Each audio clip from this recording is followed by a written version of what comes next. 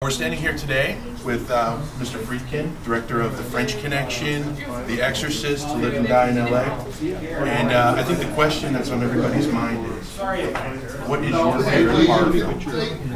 Diabolique by H.G. Clouzot. I also like Alien, Rosemary's Baby, and Psycho. The original Alien. The first Alien, yeah. Okay. Yeah, I think they're great. They're the films that have scared me. Right.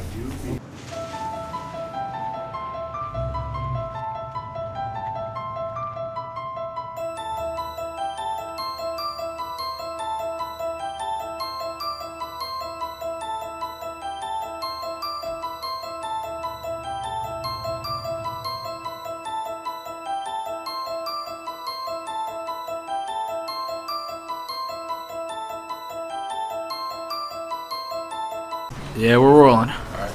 Action, William.